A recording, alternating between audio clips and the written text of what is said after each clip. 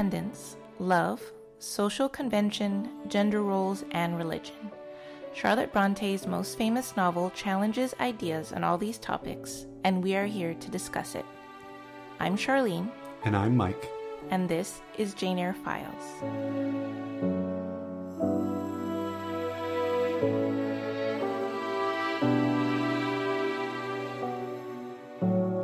Chapter 20 A Mere Conventional Impediment.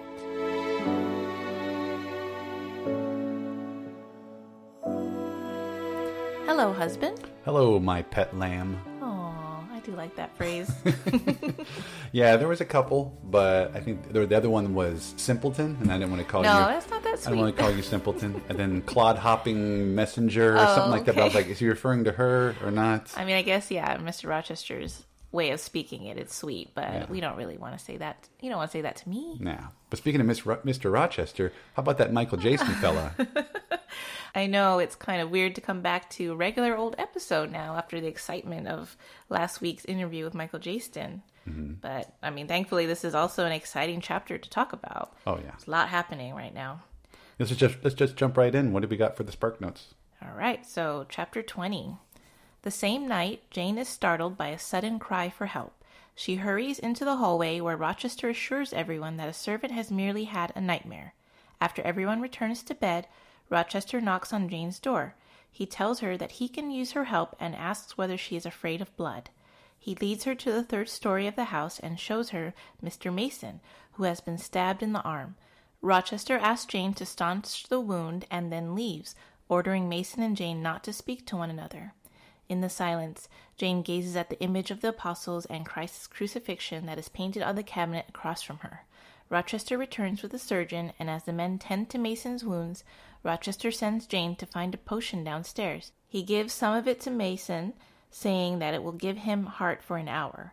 Once Mason is gone, Jane and Rochester stroll in the orchard, and Rochester tells Jane a hypothetical story about a young man who commits a capital error in a foreign country and proceeds to lead a life of dissipation in an effort to obtain relief. The young man then hopes to redeem himself and live morally with a wife, but convention prevents him from doing so. He asks whether the young man would be justified in overleaping an obstacle of custom. Jane's reply is that such a man should look to God for his redemption, not to another person. Rochester, who obviously has been describing his own situation, asks Jane to reassure him that marrying Blanche would bring him salvation. He then hurries away before she has a chance to answer. That's how dense this chapter is. The Yeah. spark notes summary goes just so into detail. Very detailed. I was like, Yeah. I don't know if we need all this. Talking about her looking at the cabinet with the apostles and Christ's crucifixion. Yeah, they don't really play a major part. But I do want to say before we get too far into this, this is a very another another very well written chapter. I really like Charlene uh, Charlene's. I really like Charlotte's turn of phrase and, and whatnot. I know we always talk about our favorite quotes. Um, but I did want to just draw attention, just to give you an idea of how the writing in this chapter seems to be just so stellar. Um, there's a moment where after everybody goes back to bed, um, Jane is trying to figure out, okay, is everyone asleep or not? And then she does realize, okay, they must all be asleep. And the line that she uses, this is her autobiography, right? That's coming mm-hmm. from Charlotte Bronte. The words that she uses are, it seemed that sleep and night had resumed their empire. just that, you just, Nice I, I- it's very phrase, colorful. sure. Yeah, yeah. Yeah. I, I really, really dug this chapter four. So there was some, there was se- several passages I was reading it and just like, whoo, just, Yeah. just shaking my head like this is really, really well done. Yeah. Charlotte Bronte is very talented. Yeah. But now we get the mystery. This is a gothic romance, right? We've Mm-hmm. got Jane in the white billowing gown running from the old house. We- We've had a couple of chapters of the romance Yeah. and longing, and now we get uh, Cries in the Night, another s great hallmark of a gothic story, and a man mysteriously attacked, and then Jane is asked to help care for him. Which, uh, I mean, it's scary for me to think that anyone. I'm not a nurse. I'm not doing True. this. but he trusts her. I think that's what it is, right? And then, of course, the mystery. I think the mystery gets even deeper because he tells Jane and Mason do not talk to each other. I know it's very ominous. that seems really weird. I mean, I guess you could easily pass it off as Mason should probably be resting and and you know he's yeah, ha- Rochester is so thoughtful. but he seems like the, the way that Charlotte describes it doesn't it seem like Mason Mason is like slipping in and out of consciousness, right? Sure, So maybe it would be better if he just rested and then. But then I think it's it's so funny that Rochester makes the point to be like, don't, and he even like reiterates it. I think a 2nd time. Don't talk to each other. Mm-hmm. Yeah. You know, Mason, you've heard me. Yeah. Yeah, that that brings me to a question that I sometimes have about this this section of like, why would Rochester ask Jane for help? Because it seems like his risk of exposing his secret through Mason, you know, unwittingly saying something, or maybe something coming out of that inner third story room, that seems like uh, not worth the risk for him. But I do, you know, I remember in the previous chapter, you know, Jane, he specifically tells Jane that if he needs help, that he will seek it at her hands. So, like, it's sort of a way for him to, like, fulfill his promise, but it still seems a little weird to me that he would ask her for help. I don't know. Maybe I- this buys back. I mean, I know we we got into an argument in a previous episode about I wasn't sure if he was already in love with her yet. Mm-hmm. You seem to think that he was.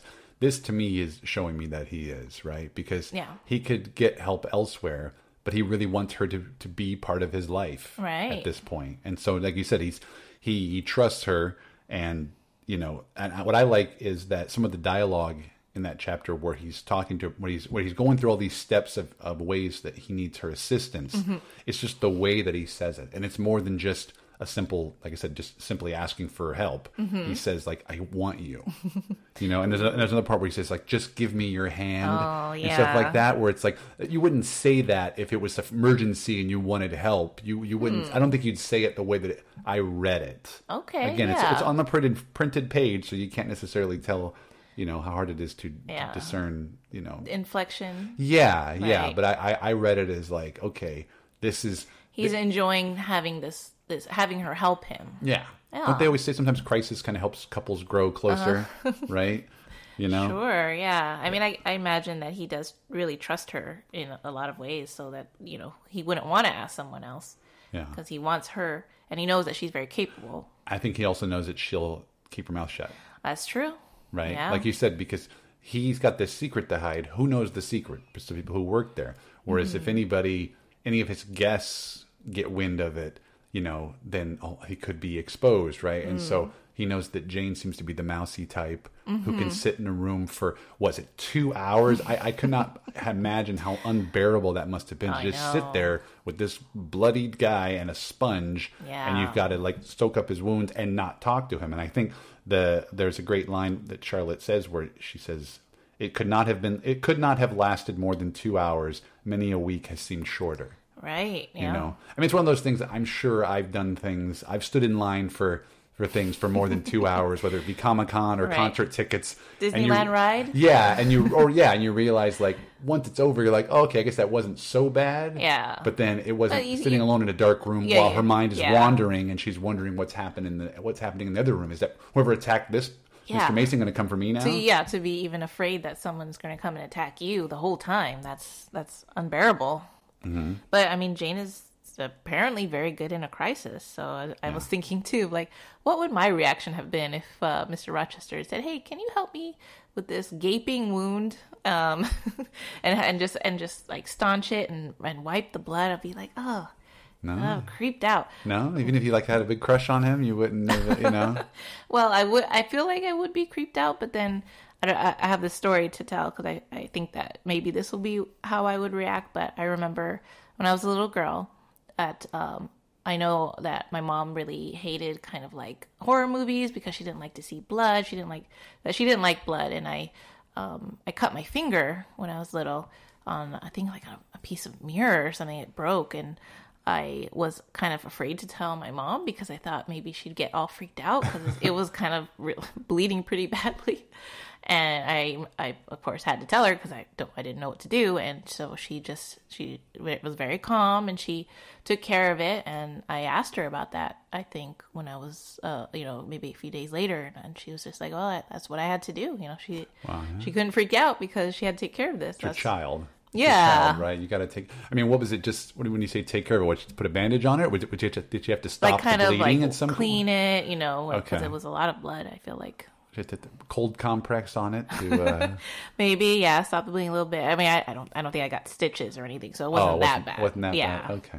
Yeah, I wonder. Like, I mean, me personally, I my mother was a trauma unit secretary. My father fought in the Vietnam War, so I don't think I never. They, they, would- they would they would never had had any issues. I, I- you No, know, no. With me, and I, I mean, I think about how would I have reacted in a crisis. Yeah, no, I think I'd be okay. Yeah, you just do what you got to do. Yeah, again, especially if I've got feelings for the person that's asking me for their assistance.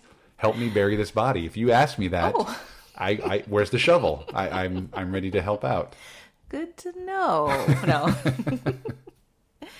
okay, so then you know while while Jane is sitting for two hours, you know she has time to think, mm-hmm.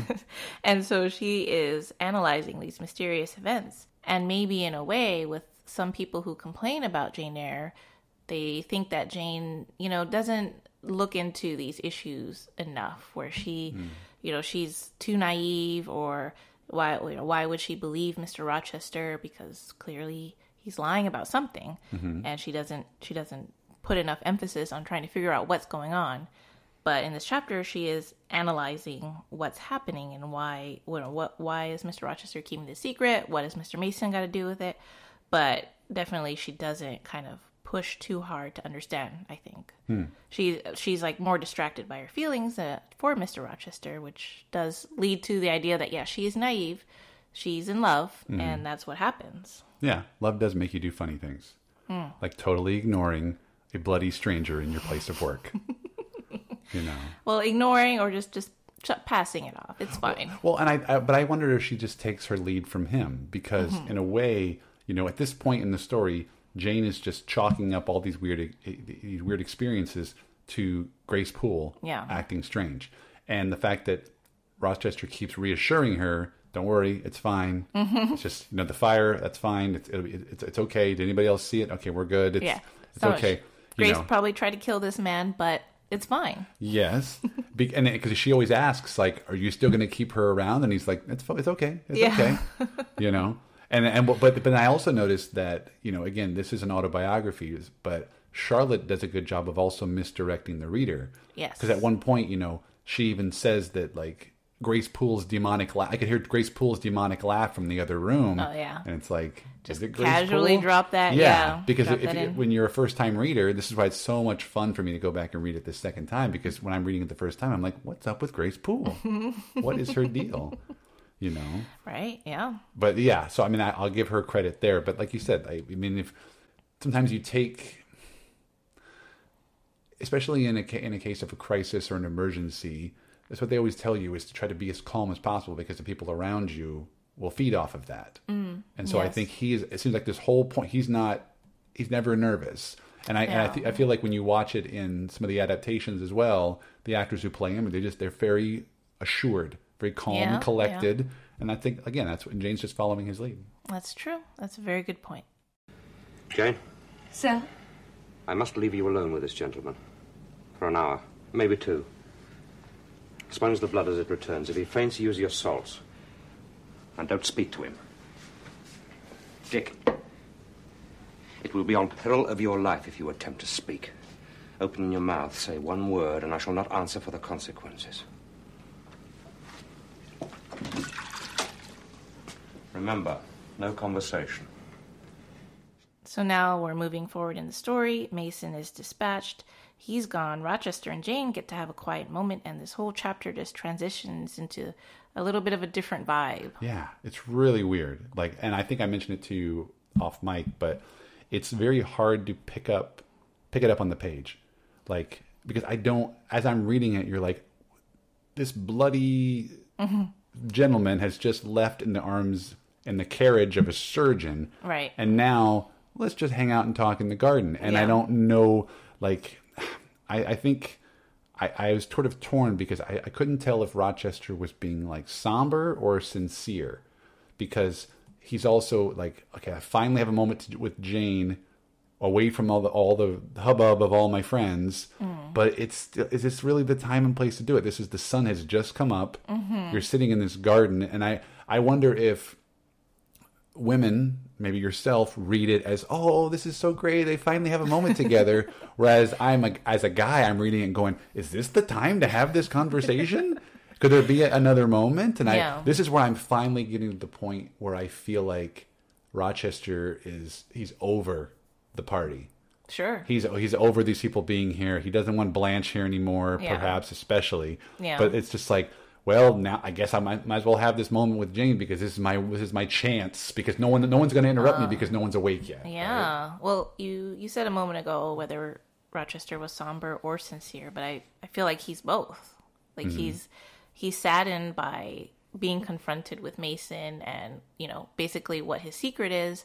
He knows the consequences and he's he's reminded of it. And he's like, "Well, I don't know if what I'm what I plan is going to work out for me in regards to Jane."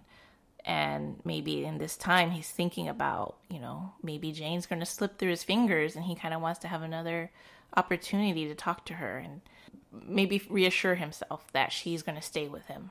Mm-hmm. And this part of this chapter you know there's there's these wonderful descriptions of nature which kind of pulls out some pulls away some of the the darkness that we just had you know mm-hmm. and it builds a bit of a romantic moment where these two characters can connect and Rochester, in a way, kind of reveals all his secrets to Jane through this kind of weird parable that he tells her. tries to reveal. his Yeah. secrets, yeah. I mean, he's trying to put her in the mindset, maybe, of what he's thinking and see what she says, and then to to see what she will do with that information. Which her answer doesn't really help him. I think. Yeah. I think it's a kind of an awkward time to make this reveal, or at least to try to dig into. Yeah, You know, we, I mean, I can see what you said too about probably Jane would be in a weird mindset. We're like, what's what's going on now? Yeah. I just helped this guy. What's happening with him? And and now we're talking about this hypothetical man who's probably you. Probably you. Yeah. Well, no, I, we, I know there's been previous chapters where, where you and I have talked about like this is all about the I wouldn't say the courting process, but this is him getting to know her. Mm. Yeah. But then sometimes, like I said, it's it's a very peculiar time to try to dig a little deeper, but you kind of have to do when you can. But I could see where Jane would be a little freaked out because there's a little bit too much drama in the house. Oh, And yeah. not to mention, you know, Blanche Ingram is still on the premises. Mm-hmm. Ixnay with uh, Anch Blay in the house, right? We can't, we shouldn't be doing this now. That's true, and probably Rochester wouldn't want to say anything because it's better to have Blanche out of the house, like you said. Yeah, like I feel like this is the moment where I'm starting to come around a little Yes? bit on the romance idea, on the, Ah. the fact that he's he's swung this direction towards her. Right. I mean, like I don't know. Did you do you think there would ever would have been a possibility that he would have asked Blanche for help? Oh no. Yeah. I mean, Blanche wouldn't have wanted help. I Yeah, think. exactly. She's not built for that. prim and proper. And I, another reason why why did he seek Jane's help? Because he was like Jane is plain. She's the governess. She's probably used to taking care of people. She's taking care of a of the ward, Right. Right. So she Yeah. can take care of a bloody dude, you know. Whereas I think Blanche Yeah. would be gooey, you know, just messy and want to Oh get her. yeah, she's like, uh, can you call a servant to do this? This Yeah. is what servants do. Oh my god. and one last thing, you know, I know you've asked me before some of the ways that Rochester has behaved. You know, you've asked me, is he messing with Jane Mm-hmm. with his actions? And I've always kind of excused it as just a way for him to get to know her. That he's and- being more sincere and he's not trying to manipulate Jane. yeah, but I feel like this turn of events at the end of the chapter where he puts puts out this hypothetical scenario about this guy who's looking for love or whatever and has Mm-hmm. this impediment, but then when he doesn't get the answer that he wants from Jane, then he swings it right into oh, I'm talking about Blanche. Yeah, I'm right. gonna marry Blanche, and now now this is the first time that I I really felt that he's clearly messing with her now. Yeah, he wants to see her reaction. He's to get trying to get a rise out of her, Yeah. and uh, the games people play when you're when you're in love, right? The things that you do, the things we do for love, the things we do for love, and so this is what that's what it is, and it's it's Yeah. it's all coming to a head now, and we're we're basically what halfway through the book, so Yeah, yeah.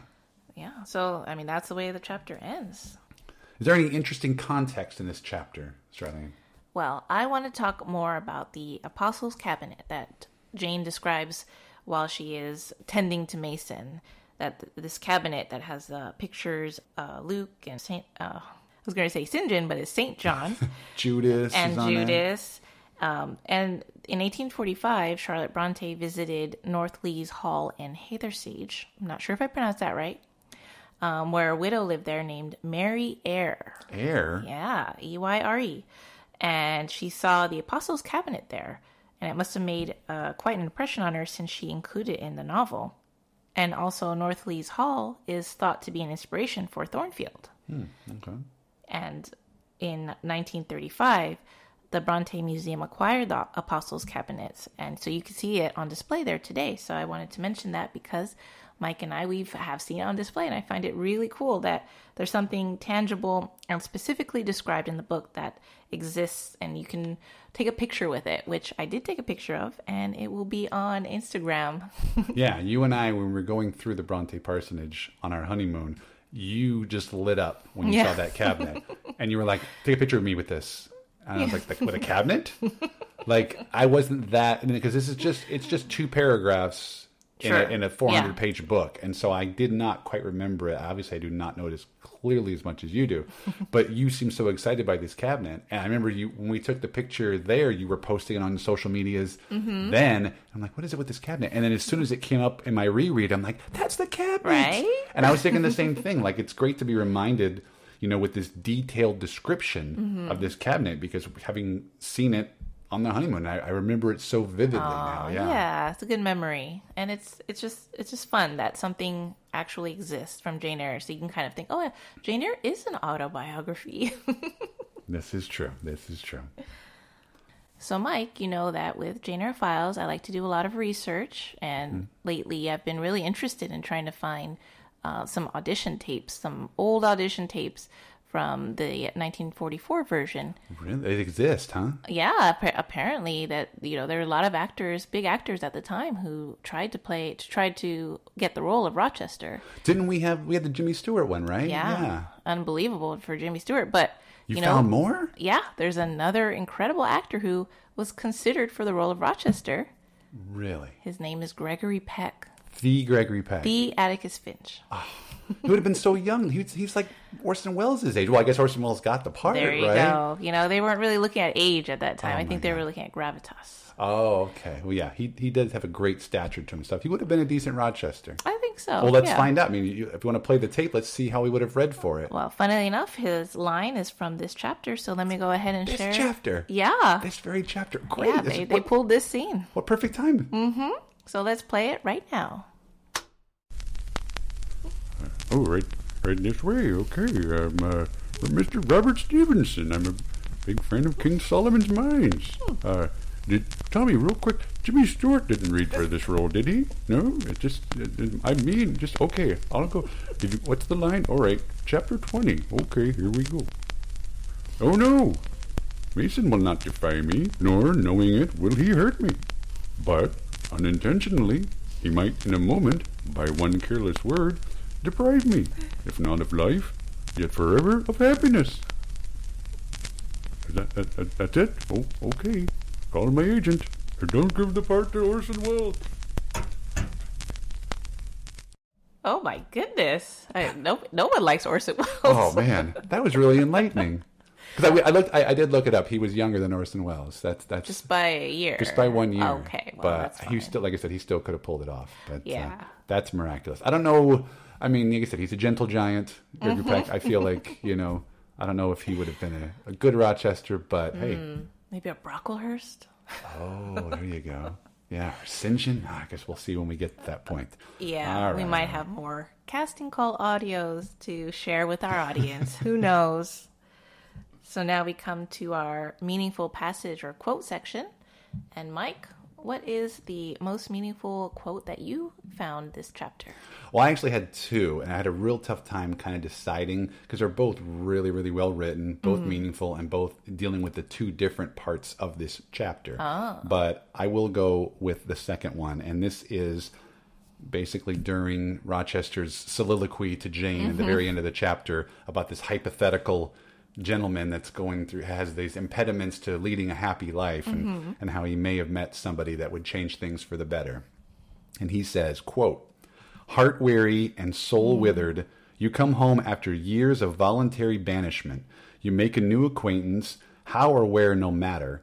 You find in this stranger much of the good and bright qualities which you have sought for twenty years, and never before encountered. and they are all fresh, healthy, without soil, and without taint. Such society revives, regenerates. You feel better days come back, higher wishes, purer feelings. You desire to recommence your life and to spend what remains to you of days in a way more worthy of an immortal being. Right. I, I was very close to picking that passage, so Yeah. that's that's interesting that you picked it. it's just the way yeah it's the way that he says it. there's so much passion in it we're mm-hmm. finally starting again like i mentioned we're finally starting to see that romance that i thought was bubbling under you thought it was more to the surface i thought it was still kind of underneath and he's starting to kind of like he can't hold it in anymore Right. and but then he's till, still too nervous to just come out and say it so he has to kind of do this hypothetical Yeah. scenario and I'm, it must have just devastated him when she didn't react the way he had Mm-hmm. hoped again because she probably thought this is not the time but This is very strange. but but it, but I like the and also you know we're both Doctor Who fans, so I, I do like the idea of him her saying regenerates when talking about the way that the such society revives and regenerates. um, you know, Gregory Peck is Doctor Uh, Who. yeah, yeah, but it's, yeah, there's something about that because I, I mentioned it's such a weird transition when it gets to the second half of the chapter, and that brought me back. Hmm. That hooked me back in because there's like, oh, there's the there's the there's the punch of the romance Yeah. to the gothic mystery elements, which my other quote would have been revolving around. So Okay. Yeah. Well, uh, I do think that quote is important in considering when we get to that part later that Mr. Rochester is trying to be a good person, Mm-hmm. and you know he might he's going to make a lot of mistakes. He's going to do some things that are not very good, but Jane is he wants Jane because that she'll she'll make him a better person, and I think that's really sweet. so what was your meaningful passage Well, this chapter? My meaningful passage is actually Jane's response to this hypothetical question. Okay, okay. So it's good that we went in this order. Uh, so, you know, Jane is a little bit confused about what he's trying to tell her, and she doesn't really know what to say, and she's trying to form an answer. And she says, Sir, I answered, a wanderer's repose or a sinner's reformation should never depend on a fellow creature. Men and women die, philosophers falter in wisdom, and Christians in goodness. If any one you know has suffered and erred, let him look higher than his equal for strength to amend and solace to heal. And I just think hmm. that's, you know, Jane is asked this pretty impossible and confusing question by Rochester, and she comes up with a really good answer, which, you know, in, in that time, you know, it's very religious. So she says, you know, look to God for solace. Mm-hmm. And, you know, I'm not very religious. So when I read this passage, I like to think of Jane kind of saying too, depend on yourself to be the person you want to be instead of looking to other people who may disappoint you. Okay. And- I'm wondering if she's talking in circles a little bit so that she doesn't have to come out and break Well, his heart. Oh, You know, I like mean, she's, she's- not going to break his heart, really. Yeah. if he was more straightforward, she'd be more uh, open to what he's saying, I'm sure. Yeah. But, But, I just, uh, yeah, that was her moment to kind of show how virtuous she was. And, but at the same time, yeah, it, I just, I feel it, it does, it is a little heartbreaking for oh, Rochester. absolutely. But I also think that that passage kind of foreshadows what happens later because she's talking about looking to God for strength, and she's going to need to look to God for strength for some something mm-hmm. that will happen later.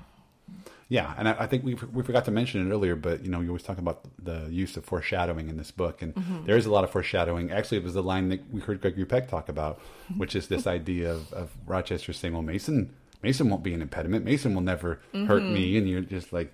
Yeah, we know where this is going to end up in a few chapters. Uh, I, real quick, I will say we're going to give you the we're going to give you a bonus passage just because I, I said I had a really tough time deciding between these two, and uh, I just want to point out, you know, so we're about halfway through the book, and we're finally getting really deep into not just the romance, but also the mystery. And so I just, I just love this quote, and I gotta have to drop it right now. And this is after Rochester is left with the surgeon, and now Jane is in the the room with Mr. Mason and just tending to his wounds while he while he more or less sleeps.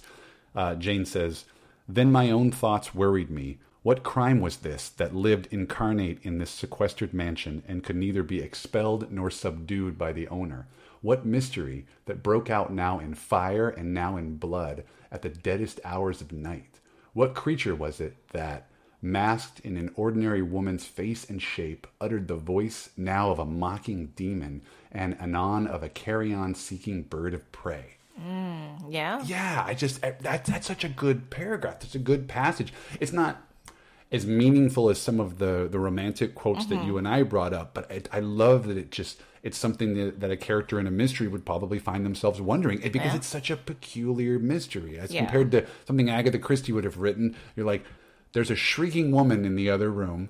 There's a bloody guy in this room. Uh-huh. Yeah. And I got to sit here and tend to him and try to ignore what's going on right there because the man of the house told me it's all going to be okay and he's going to be back whenever he's back. Right. Yeah. Yeah. No, that's great. I mean, it, it does encapsulate the whole mystery very neatly and very poetically. Mm-hmm. So before we wrap up, I always like to share the wonderful reviews that people have left for us, and we got a couple of them this time that we really appreciate and. They're they're yeah they're they're so touching to me because I just I love doing this podcast and I love hearing from the fans and I'm so glad that people are enjoying the show. We did this for our benefit. We did this Yeah. show just for two of us. I knew how much you loved the book. And you said, hey, let's throw this together. Let's just reread the book one chapter at a time. And so when we get reviews like this, I'm very grateful. It's so nice to hear what people have said. Yes, so thank you so much again. Um, let me just read the first one and I'll have Mike read the second one. So the first one comes from a friend of the show and they're big Jane Eyre fans and we were so happy that they left a review because this one's a really good one. Um, the name is One Vain Lord. They titled it Always Interesting and Entertaining. In this adorable podcast, married couple Mike and Charlene read and reflect on Charlotte Bronte's classic romance Jane Eyre one chapter at a time. They come to the book with different perspectives. Charlene from that of a lifelong fan, and Mike from someone who has read and enjoyed it once before but now is now looking to dig a little deeper. Devoting an episode to each chapter allows the pair to dig deep and offer reflections on the work that often draw on their own personal experiences, drawing attention to meaningful passages and quotes. The results are interesting and always entertaining. Whether you have read the book before and want to revisit it again or are reading it along for the first time, you are sure to have a great time with this podcast. Very nice. And you might get to hear Gregory Peck if you're lucky. variety of old time, old Hollywood actors. Yeah. And then the other uh, five star review actually came from uh, the user named Classic Literary Friend. And the review reads I just finished listening to episode 7 and wanted to compliment you on a very well done, insightful discussion of Jane and Helen. Every week, you consistently deliver thought provoking information and views on the characters and plot. Thank you so much for doing this series. Aw, thank you so much for listening. Yes, again, we appreciate everyone who's listening and give a special thanks to the people who have left us these kind reviews. Farewell for the present. Thank you so much for listening. If you enjoyed our podcast, please subscribe and leave us a review on your preferred podcast platform. This really helps us grow and reach new listeners. If you want to talk Jane Eyre with me online, you can find me on Twitter and Instagram at EyreGuide. That's E Y R E. And if you want to hear more from me, I host my own podcast called Out of Touchstone, where my good friend Chad and I discuss all the films that Disney produced for their Touchstone Pictures label. You can also find me on Twitter at Mike DeKalb. Thank you, and farewell for the present.